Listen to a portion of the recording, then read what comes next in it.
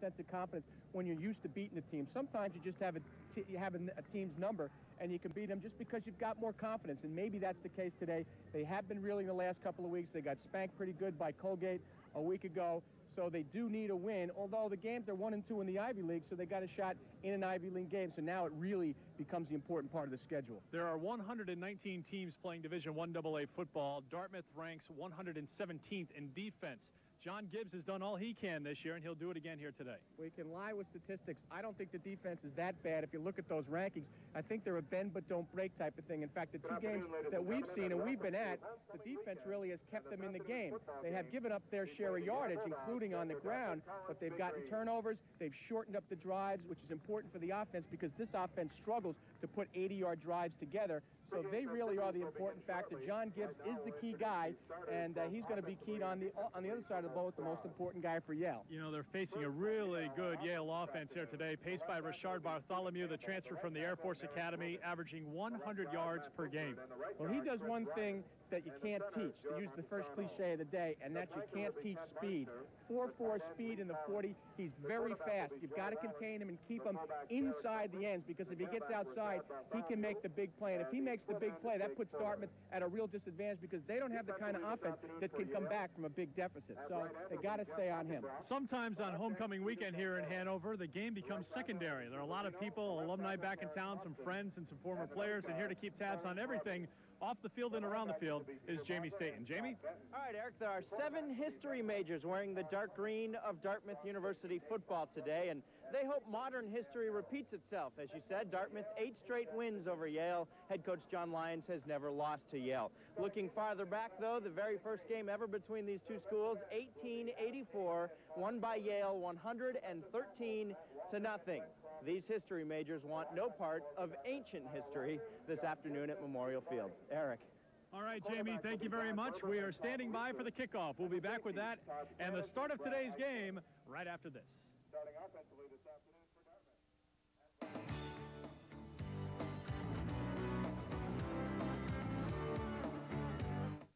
football family lost a dear friend on Thursday when receivers coach Frank Hershey passed away after a long and courageous battle with cancer. Frank devoted his adult life to his family at home and to Ivy League student athletes, spending 11 years at Dartmouth. A moment of silence was just observed in honor of Frank Hershey, who was 56 years old. So a very emotional day here for the Big Green. It is homecoming, of course, and that always brings a little extra added intensity level, but also a lot of these Dartmouth players and certainly the coaching staff very co close to Coach Hershey. And it will be an emotional day today for the Big Green, no matter what. Yeah, my feeling is that those are uh, the uh, observing the death probably will have more of an impact in the way they play. You tend to focus when you put somebody like that in, in, in your mind. You want to play well and you're focused. And that, I think, will have more to do with how they play today than even the big crowd, which always pumps you up. And that's the big thing about homecoming. It's, it's, uh, it's a nice weekend, but the crowd is always bigger, and they have a way of giving you a little bit of boost and energy. Well, speaking of boost and energy, they tried to give Dartmouth a little extra little zip as they came running on the field. Coach Lyons, out of the smoke, scenes of Miami at Florida, you know? for the Super Bowl. Here they come out into the field, the big green. That was just a few moments ago as Dartmouth came out here in front of a growing homecoming crowd here. Everybody still filling in as we are ready to play some football. Dartmouth will kick off. Alex Szynski will do the honors. And we're just about ready to start here in Hanover. We are underway. The kick will come down to Billy Brown for Yale at the 12-yard line. Brown up the far sideline is brought down at the 26. That's where Yale will set up. First and 10 at their own 26-yard line. Let's take a look at the Yale starting lineup. First of all, Rashad Bartholomew, we talked about him in the open, the transfer from the Air Force Academy. Front line is anchored by Joe Montesano, but keep your eye on Marik Rubin, 6'8", 320, number 62. He's a big guy. We'll run down the Dartmouth defense after this first down play from Yale. And there you see Joe Walland, the quarterback. Number seven, Scrappy Kid, a junior from Mentor, Ohio. Good runner, good passer. On the season, completing 53% of his passes and averaging 5.6 yards a carry when running the football. and I think he's got to be mobile. They've got such a big offensive line. Look for him to roll out and look for lanes to pass the ball so he doesn't have to go over the top of those big guys. First and 10, first play from scrimmage. Dartmouth bringing some pressure. They get into the backfield, and Walland is hit for a loss, a loss of one. Good job by the Dartmouth defense coming right out of the blocks. That defense on the front line is anchored by Brent Crombie, leading Dartmouth with two sacks so far this year. As you take a look at those players who are up front for the Big Green. And there you see Brent. John Gibbs, the linebacker, leading tackler for the Big Green, center of that linebacking core. And in the secondary, Tom Reeser has broken up two passes this year and forced a fumble. Very active back there, number 28. Second down and 11. Walland the pass for the first time. Throwing and his receiver fell down. It would have been difficult for Ken Marshner to get to that football. It was thrown pretty high, although Ken is pretty tall. 6'6", also plays on the basketball team at Yale. Even when he was laying down, he looked like he was still could have got his hands on that. He just, his legs got tangled up with uh, Verber on the, as they tried to go to the sideline pattern. He fell before the pass was thrown. Look at the size of some of those guys. Ryan, number 53, is 6'5", 330 pounds. Ruben, 62, is 6'7", 320. Marshner is 6'6". It's quite a front line for a hoop team. Third down and 11. Walland will roll to the near side. The lefty with time and complete. At the 38-yard line, that will be enough for a first down. Boy, that was a patient play by Walland. He just rolled and waited and outran people, took it to the sideline until until the receiver showed himself to be open. And then he, right there, he notices and just delivers it right at chest high. Beautiful pass on the run. Nice play. That was a matter of patience on the part of a seasoned quarterback. You know, you can tell a big team, or the way to tell a big or that a team is big, when you look at the six eight guy standing next to everybody else, and he doesn't look like he's much bigger than everybody else. he fits and he in. doesn't. they spotted at the 39-yard line. And here is Bartholomew for the first time, and Dartmouth is there to stop him. Adam Kane leading the charge. Just snuffed that one out. He just stepped right into the gap. And Bartholomew has nowhere to go. In the right-hand side of your, I'm, I'm sorry, the left-hand side of your screen, just steps into the gap, beats the block, and just holds on and throws him out of bounds. That was a nice job by Kane in reading where the running back was going. Bartholomew second in the Ivy League in rushing, averaging 100 yards a game, but Kane throws him for a loss of five. Second and 15, and Walland will set up in the shotgun.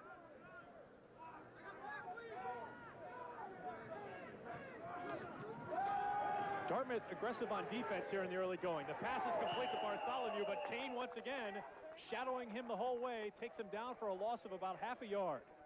Tell you what, it's a good thing he was there because he was the only guy who had read that screen. The entire left-hand side of the sideline was wide open, and if he misses that tackle, we're talking a big game. Look at the pressure on Walland early on. Let him go on the on the screen, but there is Kane, and there's nobody ahead of Bartholomew. So uh, that was a big play-saving tackle. Third down and 16. They need to get just about to the 50-yard line for a first down. Walland in the shotgun once again. Quick throw. Throwing out to his man. He's got him knocked out of bounds.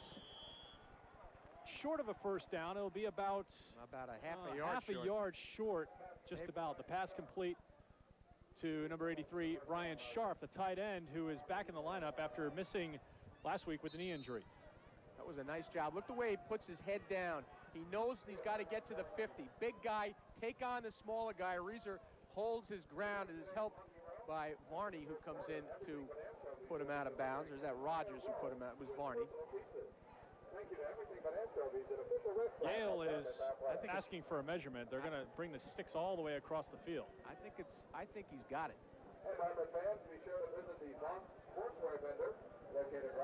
Now take it back. A lot of slack, a lot of slack in that chain as they bring it across, right? Well, you're not too far off. You can see the official indicate that it's about half a yard short. So let's see what Yale decides to do. I know that's a supposed sacrilege for a politician, but a color guy can flip-flop on an issue, can't so you see how short they are as they spot the ball down, and They look like they're going for it. Yeah, they've got everybody out there. This would be a big gamble in the early going, but this is an offense that has been rolling. It's it's also big for Dartmouth because they need one to score early and they need to do it with field position. So if they get the stop here, they're inside the 40. This is a very big play. I, am going to predict as the game goes along, if they can stop them, it's a big play. Gives them a big field position edge. Fourth and inches. Let's see if Walland will keep it himself. To roll out. Looking for a little bit more than a few inches. Throwing and complete. First down for Yale. Boy, quite a gamble on fourth and inches. They go to the air, and Marshner is there with his 25th catch of the season. You know, I, I know he makes the completed pass, but I'm thinking here when he's this wide open, look at the top of your screen. Nobody there. He needs a half inch. Why risk the pass? Take it over the 50 and pick up the first down, but he delivers the pass right on the numbers, confidence in what he does, and he gained more than he would have with the run. But I think if I was in that situation, looking at what he was looking at, I would have run. So on fourth down, they go for it, get the first down, and they're into Dartmouth territory. Here is Bartholomew. Nothing doing. Stopped for a loss of maybe half a yard. So Dartmouth doing a good job there. You see big number 60, John Gibbs, the leader of this defense, getting himself back together a little bit. Already in on three tackles in the first series of downs. That was a good job of just uh, discipline in terms of the defense. Everybody stayed home in their area. They played their lanes. They stretched it out to the sidelines. Rather than committing and going to the ball early, they stayed, waited for the ball carrier to come to them, and they took them down. On the draw, Bartholomew, nothing there. Gain of maybe two, but they're doing a good job against Bartholomew so far, who rushed in his debut for Yale, 140 yards against Brown. As you see head coach Jack Siedlecki in his second year at Yale coming from Worcester Polytechnic. WPI and Amherst in his backgrounds. One and nine his first year, but so far two and two coming off a win against Holy Cross, 15-7 in the rain down in Worcester. Third down to 10. Walland out of the shotgun. Green, stick him here. Dartmouth bringing more men up to the line and bringing the blitz. Incomplete. That he was had close. the luxury of throwing a high ball to Marshner at 6-6, but that was a little bit out of his reach. And it brings up fourth and 10, and the punting unit will come onto the field for Yale. And the defensive coverage was there. There was no way he was going to get the first down unless he breaks two or three tackles as he came up short. Mike Moravchek on to punt for Yale. Not a good one. Pops it up. Fair catch is indicated by Reeser, and he takes it right at the 20-yard line. We'll take a timeout. We'll be back to Hanover for the Big Greens first possession right after this.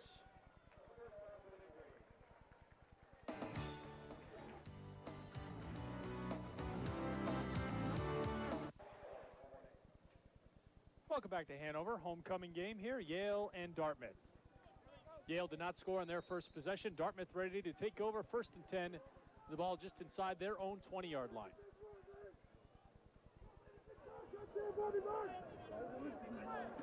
Mike Coffey, the quarterback, he'll throw on first down. And looking for Damon Ferrara. That pass goes incomplete. Let's run down the Dartmouth offense. Forrest Wester, he had that big catch against Lafayette, you'll remember, the fifth-year senior who had surgery on his knee. He's in there starting at wide receiver, although Ferraro was out there for the first snap. Caleb Moore, Yale defense has registered 14 sacks this year, so that offensive line for Dartmouth will be tested. Although 10 of them were last week. It's a, it's a bit skewed, but 14 sacks is 14 sacks. There is Reggie Bellholm with a big hole. Bellholm cuts it to the 30, out to the 32-yard line. A big first, second down carry for Reggie Bellholm, the junior from Chicago, who had 88 yards rushing against Colgate and a touchdown. A good start for Dartmouth on the ground. They've really struggled running the football this year. Watch the move by Bellholm here. Is he going to go outside or inside? Freezes Blake with the little juke inside, and that gives him about five or six more yards on the pickup. That was a quick feat on the part of Mr. Bellholm. First and 10, option. Coffey with the pitch to Bellholm, trying to go towards the Yale sideline, and he's brought down as the flag is thrown. And the clock is stopped. Let's run down the Yale defense as they sort out the penalty. Andy Tuzolino, three sacks in three games so far this year. Peter Mazza, the linebacker, leading tackler with 37, anchoring the linebacking core. Ben Blake moved over from safety to cornerback. Did that last week and has two interceptions so far this year. Our referee today is William Gosselin. Play a little bit of a different defense. They've got a five-man front and two linebackers, which means the ends are going to stand up. They're almost linebackers, except they're playing on the line of scrimmage. They'll do the stand-up. They have responsibility to force everything inside and let the two linebackers in the middle clean things up. But uh, you don't see a five-front defense very much anymore, so it should be, we'll see if it's confusing or if it's just something that uh, Dartmouth can handle. Holding penalty against Dartmouth pushes them back 10. Now another throw, this time intended for Wester into double coverage, and it's broken up. Yeah, that's Overthrown exactly right. as well. Well, it's a good thing it was overthrown because he was thrown into double coverage. It probably wasn't the smart pass to, to throw because uh, there was no way he was going to throw it over that safety and get it into Wester, so he had to throw it high, and there was a guy behind him. Fortunately, it was for Dartmouth, it was too high for everybody. Blake and Boxrucker on the coverage. Second down and 20 for Dartmouth. No score here, first quarter. Out of the eye. Yale comes up. Give is to Bob Bunn, who has done a good job here after missing the first two games with a concussion. Bunn gets a couple of yards out to the 25. It's going to bring up a third down and long. Not really the kind of call that's going to get you a lot of yards on second and 20. Although I guess they were hoping for, they saw the blitz coming, maybe go for the little pop that line of scrimmage and surprise them and pick up uh, maybe, you know, get into the secondary and pick up a decent game, But the odds are against something like that. Westy, Ferrara, Ponce rather, Wester and Ferrara, the receivers, three receivers here on third down the long. Coffey throwing across the middle and through the hands of Ferrara, incomplete. And Wayne Schlobaum in the punting unit will come on for Dartmouth. Once again, three white shirts around the football, one guy in green. That's a dangerous balance of numbers. Schlobaum, very important in today's game. I think one of the keys, as I mentioned earlier, is field position for Dartmouth because they don't have uh, an ability to bring it up and down the, or they haven't shown, let's say, an ability to bring it up and down the field. So they need their punter to give the, to give them a help in the field, winning the field position battle. And uh, in the two games we've been at, particularly the first game of the season we were here, he, I thought he was the MVP of the game. Averaging 42 and a half yards a punt, second in the Ivy League. At a 70, what was it, 73, 71. 71 yarder that's stopped on the one. Not much of a win here today. Maybe a little breeze at his back. This isn't one of his better efforts. It's taken at the 36-yard line. Breaking some tackles, moving out towards the 50-yard line. Good return by Todd Tomich, the Ivy League Rookie of the Year last year with a good return, and Yale has good field position. Kyle Rogers with the tackle. Here's the return once again. The dangerous part of any return is if you can get past the first wave, you're going to have running room. Does a nice job of weaving through traffic. And there is Rogers, the linebacker, number nine, who wrestles him out of bounds. But that was a good 15-yard return. Bartholomew, nothing doing, stopped, and hit a second time. That's just great defense. Look at all the green shirts around him. Varney had the shirt collar for a little while. He slowed him up enough, and reinforcements came in for a loss of three. It wasn't even that bad a run. He does a good job of fighting his way out of trouble, or at least out of the first wave of tackles. And here comes three more guys, Kane being the lead guy as he goes down. Matt Walker in there as well. Four carries, negative seven yards for Bartholomew. Great start for the Dartmouth defense. Pass play on second down, intended for Derek Bentley, the fullback. That goes incomplete. It'll bring up a third down and long. See, what I, I, I like what I've seen so far defensively. This The problem in defending Yale is that they can pass, they can run, and uh, Walland's got the ability to extract himself from trouble and make something out of nothing. So what you've got to do to defend a team like this is you've got to take one of those elements away from them, one of the weapons. So if you shut, and I think it's the running game, you shut down the running game, as we talked about in the open, then it gives you a better chance to defend against the pass.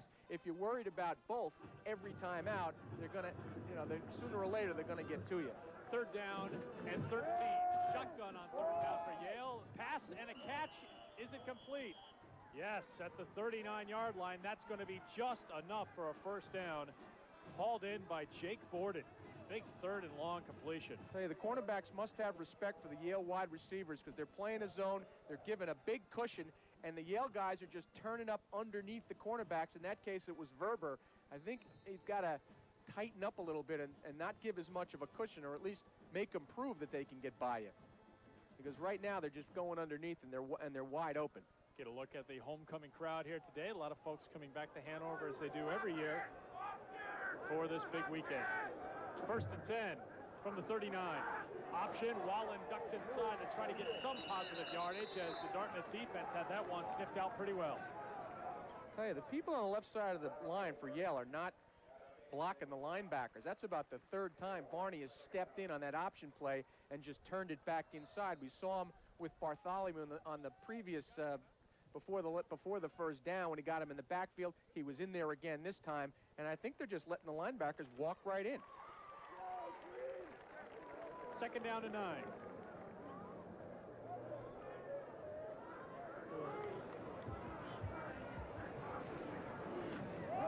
Bartholomew, once again, he's hit behind the line of scrimmage. He does a good job to get back to the line. It's going to bring up a third down and nine send a lot of big bodies. The left side of the line pulls out. It's like a power off tackle play. It's got three people from the left-hand side of the line going right with him, but Dartmouth isn't too bothered by that. Yale not really real crisp on their blocking in the offensive line here in the running game so and far. You talked about it in the open, Dave. Bartholomew with that 4.49 40 speed has not had an opportunity to see any open field yet. Dartmouth's been back there to snuff stuff out before it can develop for him. And now Yale will take a timeout. Walland will use Yale's first timeout. And we will step aside ourselves. 6.52 left to go in a scoreless first quarter. Back to Memorial Field right after this.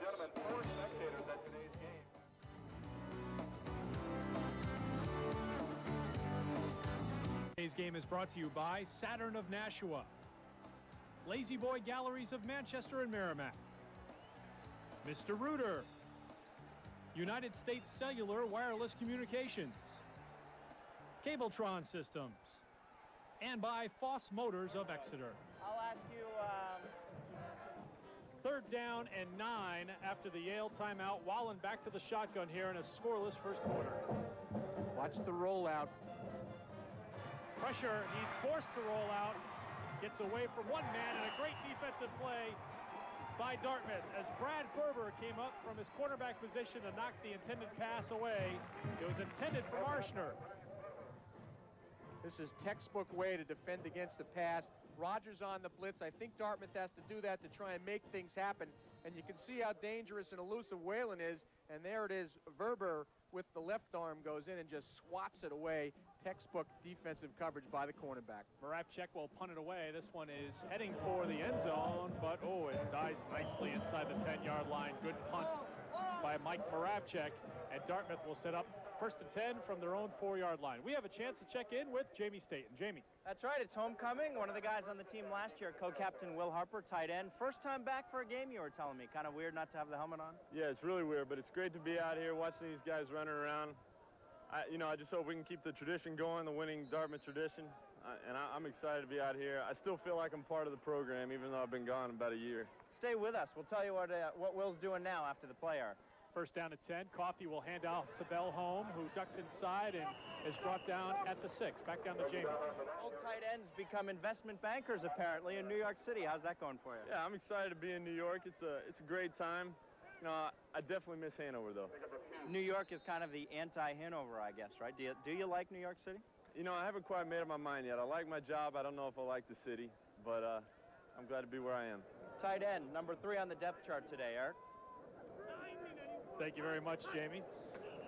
Whistle, this play stopped before it even kicks into gear. It's going to be a penalty against Dartmouth. You know, Will's a country boy. You know, you put the country boy in the city, it's going to take a little while. Well, I'm going to tell you something. When you're in your 20s, there's probably no place more fun to live than New York City because there's a lot going on. Dead ball. Ball start on the offense. Still second down. Once you figure out the right times to avoid the West Side Highway and... Uh, well, if you live right there, you don't have to worry about that's it. That's true, too. But well, you know, you I'll tell you what, you need a Dartmouth education to figure out a New York City subway map, though. That's true. That's for certain. Second down and 11 as they move it back half the distance. Coffey throwing from his own end zone, looking for Bunn. The fullback has it. Gives Dartmouth a little breathing room out to the seven. That play, I, I think he was the only guy out on the pattern, but he just, you know, it's just Bunn into the flat. Look at Bunn. He just runs immediately out to the left-hand side of your screen. Coffey does a nice job of putting the ball on the numbers. It's underneath the zone defense. Gives him a little bit of running room. It's a good, safe play when you're in the kind of position Dartmouth, Dartmouth was in. Third down and six. They need to get across the 14-yard line for a first down. And the handoff goes to Bellholm. Does he have enough to get to the 14? Yale doesn't think so. Got to be close. I think he's going to be just short of a first down, and Schlobaum's going to come on to punt. I, I think in this situation, you got to put your head down. I like the call. I like draws out of shotguns. Very, uh, fools Yale initially, but right there, he's got to put his head down, not run vertically. He's got to put it down and go for the flags. North and south at that point. Schlobaum comes in on fourth down and short. He'll punt it away for the second time. That's horizontally he was running. Yes. Always get those mixed up. I wouldn't do well in the subway system in New York City. You wouldn't do well adjusting your television set either, it sounds like. that vertical and horizontal hold. This one doesn't turn over for Schlobaum either. Tomich does not signal a fair catch. He pays the price as Verber drops the hammer down, but it's good field position for Yale as they'll set up in Dartmouth territory. Tell you what, Ken Phelan, I think, thought he called for a fair catch. He's standing right by him, let him catch it and take a step before Verber delivered the blow. So more good field position for Yale. As you take a look at today's officials, led by William Gosselin from Leominster, Mass.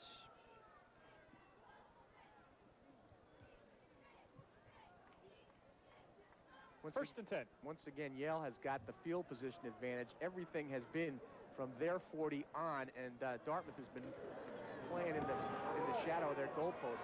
Walland scrambles, will tuck it away. He's at the 40, and he's pushed out of bounds right there at the 40-yard line. Gain of seven. I just love mobile quarterbacks because they just add such a dimension to your offense. I mean, he's coming out, he's coming to the left-hand side of your screen as he rolls. That's pretty much a run. I think that's a run unless the pass is there as opposed to a passing play by design. He's got a lot of room, he's got good speed, and he gets uh, picks up about six or seven. That's a nice gain on first down. Walland's a guy who missed a lot of last year with an injury, and two years ago was a wide receiver for the junior varsity team at Yale. Here's Bartholomew. Be close to a first down.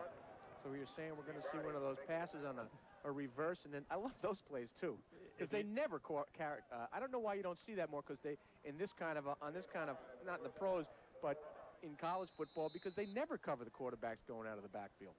It was enough for a first down. Bartholomew will step aside for this first down play. So we'll put that in the back of our minds. Maybe if they need to pull one out of the bag of tricks, we'll see that. First and 10. Ball at the Dartmouth 36-yard line. Scoreless first quarter. Give to the backup tailback, Conrad Sopilnikow. That is his first carry of the season. Much to the delight of play-by-play -play announcers everywhere. that's uh, that's one you put on your chart phonetically. You know, I, I, didn't even didn't even want to try to figure it out on the fly. So I I tried to do my best. So you see squatting down there is head coach Jack Siedlecki. We talked about his background, WPI and Amherst. His career 59, 33, and 2. This is his 11th season as a head coach and second in New Haven. Second down and long five. Walland, once again, not given much time to throw, but always oh. makes the most of it and gets about, well, two yards on that play out to Derek Bentley.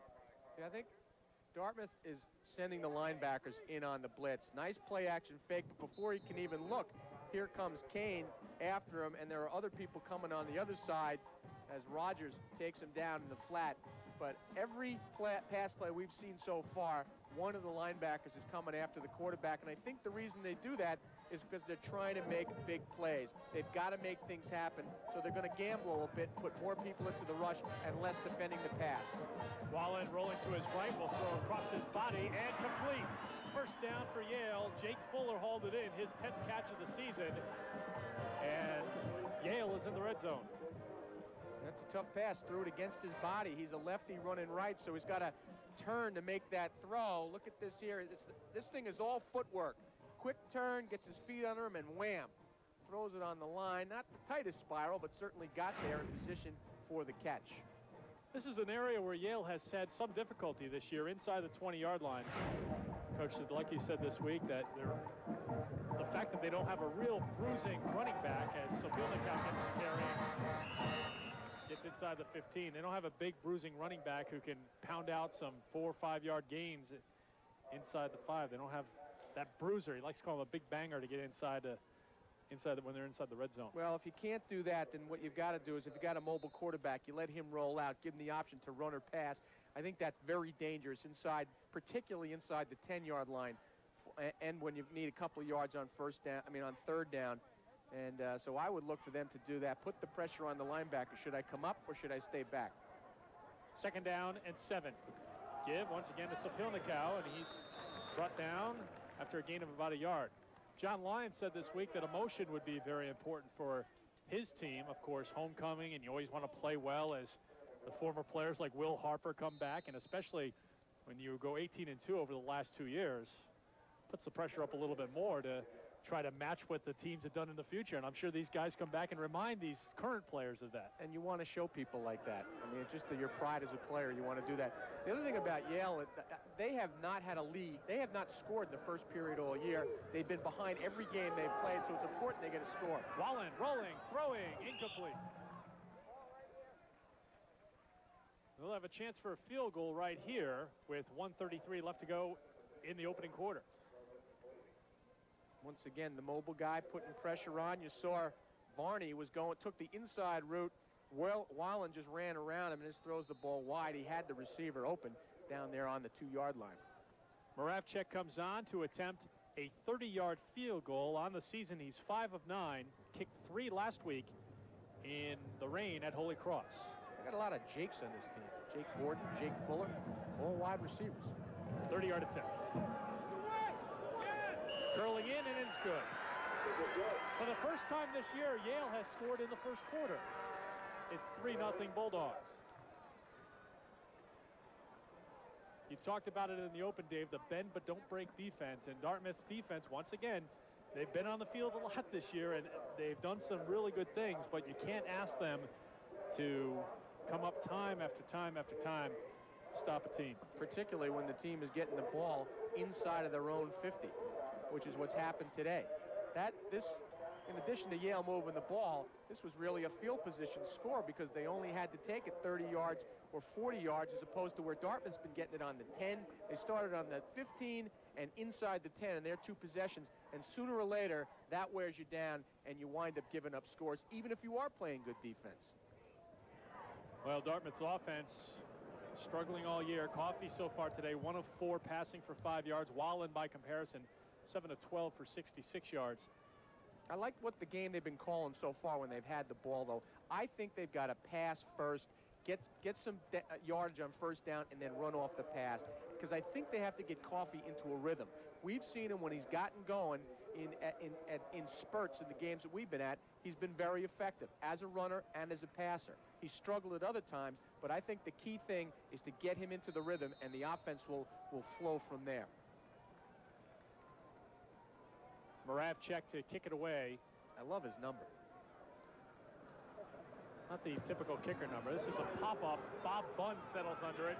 Signaled a fair catch at the 22. Now he wants to run it.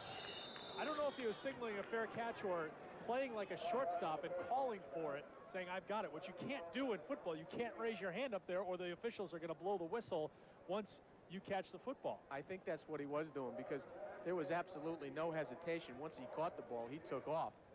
So I think that was the baseball player coming out, yeah. Bob Bunn, saying, I've got it, I've got it. I agree with you. He'd make a great shortstop. You wouldn't have any collisions with any outfielders if he was out there. Well, you wouldn't want to, that's for sure. That's true, too. So here's the Dartmouth offense. Bellholm has done a good job. He's gotten all the calls from the tailback position so far.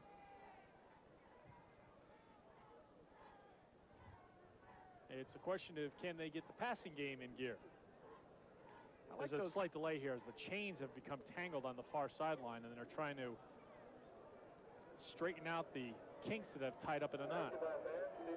I'm sure Dartmouth doesn't want them to solve that problem until they give up the ball. Might help them keep the ball.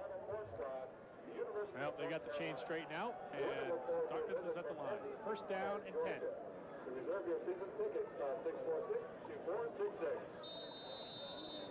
Karszewski, Ponce, and Wester, the three wide receivers out there, so maybe they do want to come out and throw the ball here on first down. They give us to Bellholm.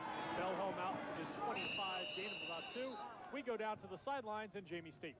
Well, you guys talked about emotion and how Coach John Lyons called for his team to be all fired up. And this defense, when they came off the field after allowing the field goal, was anything but fired up. Uh, John Gibbs, the All-American, was the only guy who had anything to say, and uh, all he basically said was, come on, guys, we can do better than that. They're sitting around very quietly. We'll give them the benefit of the doubt, call it business-like right now. Second down and seven for the Dartmouth offense. Bunn goes in motion. Coffey will pass. Running out of time, but now with a lot of running room on the far side. Out to the 40. He's hit right there. First down Dartmouth. And hit hard, I mean. And I'll tell you, one missed block. Wester had the block in there, and if he'd sealed the cornerback off, Coffey's got the whole sideline. He just couldn't get the angle on him, and he held up at the last second where the impulse is to go after him. It would have been a clip. Look at the block by, it's Bellholm, that Sorrentos was going to get him, and he just stepped in and shielded him. Coffey sees the whole sideline open. Down in the lower right of your screen is where the block with Wester. He holds up there very smart because it would have been a clip. That's a pretty good open field tackle. Fumble. Yale football. After the biggest play from scrimmage, the scramble by Coffey, Dartmouth comes back and coughs it up, and Yale comes away with it. At the bottom of the pile, it looked like it was Peter Maloney. Just never got it from center and couldn't get back to the ball as he gets he gets knocked out as McKnight pulled out. The play was going to the right, and he pushed Coffey off of the area where he, before he could get in there to recover the fumble. Yale leads Division 1 AA football in turnover margin. They're at a plus nine. They've taken away 14. They've only turned it over five times. Dartmouth is a plus one, but now they are even after the first turnover of the game. First and 10 for Yale. Great field position one more time at the 38. I'm going to say that's where they kill you when you have them and you give the other team field position. On the reverse, coming around with a big running room is Jake Fuller down to the 25 and hard helmet-to-helmet hit delivered by Todd Spanish, but it's a big carry and a first down. Gain of 15. I'll tell you what, though, he came a long way to get into that play. And I thought he would, they weren't going to get him until he hit the 15-yard line. Great misdirection on the reverse. Spanish is going to come out of the bottom left of your screen. He was way over on the other side of the field, and look at the tackle in the open field. Terrific play on the recovery by Spanish, and I Five-yard love face mask call. penalty on the defense. First down. And you saw in that replay, Spanish, after the helmets hit, went up with his right hand and got the hand in the face mask. It's a five-yard face mask penalty, so that adds to the gain down to the 19-yard line. Clock running in the first quarter will come to an end. Yale with a 3-0 lead and in business inside the Dartmouth 20-yard line, and that's it for the first quarter. We'll be back with the second quarter here in Hanover right after this.